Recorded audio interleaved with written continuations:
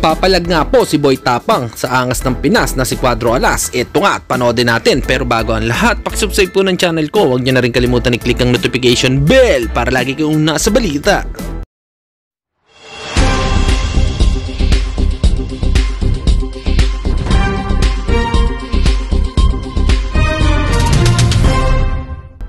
Mga kabaksing, puro tayo seryoso. Dito naman sa aking ipapakita ay baka lumamig ang ulo nyo. Malamang kilala nyo na si Boy Tapang.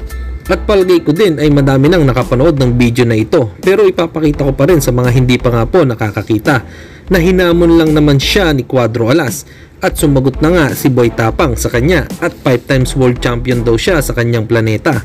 Katuwaan lang ito mga kaboxing, huwag masyadong maging seryoso. Ito nga at panoodin na natin. Courtesy nga po kay Boy Tapang Vlogs. Please subscribe po ng channel niya. ng buong planeta. Nagigigil ako sa'yo. Hmm?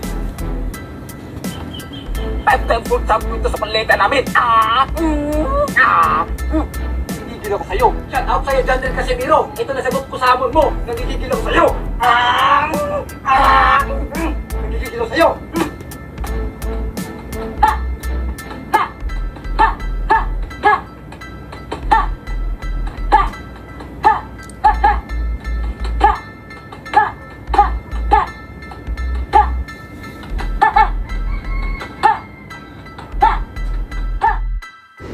At seryoso na nga po tayo mga kaboxing sa tunay na sumusuporta sa Team Quadrolas. Huwag na huwag kayong magbabago kahit na meron kayong marinig na negative about kay Quadrolas. Tuloy lang ang pagsuporta, lahat ng yan ay magbubunga. At syempre, mag-special shoutout muna tayo sa mga hindi nang iiwan.